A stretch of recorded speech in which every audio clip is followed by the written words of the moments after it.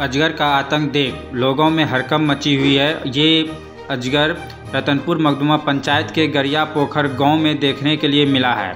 यह अजगर एक किचन में बैठा हुआ था। जब किचन में महिला काम करने के लिए जाती है तो इस अजगर पर नज़र पड़ने के बाद महिला चिल्ला उठती है। जब महिला शोर मचाने लगती है तो गाँव का लोग वहाँ पे इकट्ठा होता है। अजगर को देख पूरे गाँव का लोग भयभीत हो जाता है। तब हिम्मत बना करके गाँव के लोगों ने मच्छरदानी के अंदर इस अजगर को कैद कर लेता है। और कैद करने के बाद रात के समय में इस अजगर को एक डिब्बा में बंद कर देता है और वन विभाग को कॉल कर देता है। उसके बाद वन विभाग सुबह आता है, इस अजगर को ले जाता है। देख सकते हैं कितना बड़ा ये अजगर है।